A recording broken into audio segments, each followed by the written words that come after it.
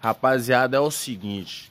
Nesse exato momento a gente tá mexendo aqui, ó, no, no cubo, né, na roda traseira da Facto, né, que ela foi sucateada por conta de falta de, de manutenção. Então nós vamos mostrar mais ou menos para vocês, para você ver o tanto que ela tá danificada. Isso aqui, ó, meu camarada que tá mexendo na mecânica dela. Pode observar aqui, ó, e isso é um problema, um problema crônico, né, da, das Factos e de algumas motos da Yamaha.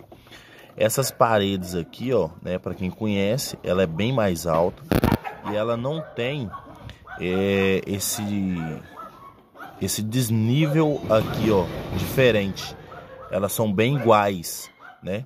E ela não forma essa cava aqui lateral aqui, ó, né, na diagonal. E aqui também pode perceber que de, desde a primeira vez que ela deu esse problema aqui, ó, eu insisti no problema, né, por não saber, e aí eu fui pesquisar, né, que depois que a roda ela atinge uma grande temperatura, ela dá esse problema aqui, né? E ela começa a estourar muito rolamento, né? Que ontem eu vim eu vim de Belo Horizonte com rolamento novo, depois de 300 quilômetros, é, ele estourou também, né? E eu tive que, infelizmente, eu, eu não conseguiria acionar o seguro porque ia atrasar minha viagem. Eu tive que rodar e aí eu posso ter ainda piorado a situação.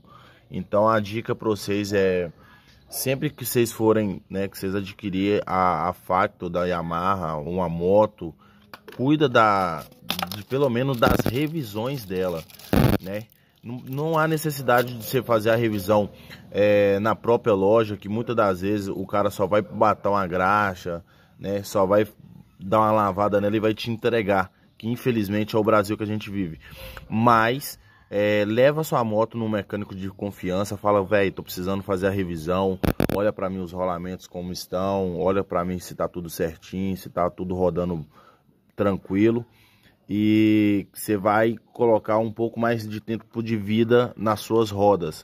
Graças a Deus essa roda aqui rodou bastante, mas geralmente uma roda dessa aqui, ela vai rodar muito mais, mas essa roda, minha moto já chegou a 116, 117 mil quilômetros, né? E eu fico feliz, ela trabalhou muito bem, né? Ganhei muito dinheiro já nela e ela vai trabalhar mais é, até mais ou menos, eu acredito, mais uma semana. Mas essa roda vai ser trocada porque ela foi sucateada.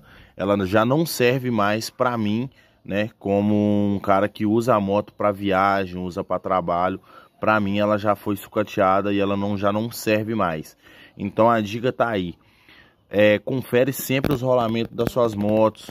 Coloca a mão, vê se tá quente, né? Para na viagem, numa viagem se for muito longa Geralmente eu faço Rio, Rio Belo Horizonte, Rio Ipatinga, né? Eu rodo muito nessa moto, então para ver se está tudo certo, né? E continua a viagem. No mais é isso aí. Valeu, valeu, tamo junto e é nós. Esse aqui é o resultado. Mas ela ainda continua danificada, né? Dá para perceber aqui, ó, que depois que o rolamento ele estoura, ela começa a rebolar, né? E a roda começa a pegar no espelho.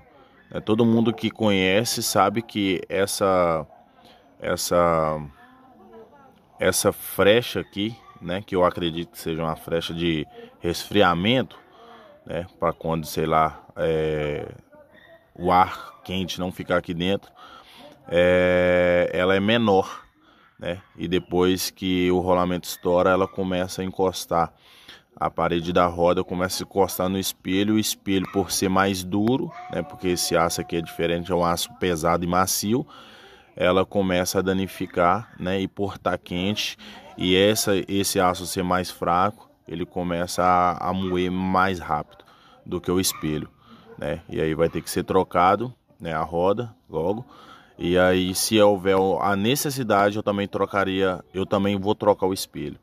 E é isso, tamo junto, tá pronto.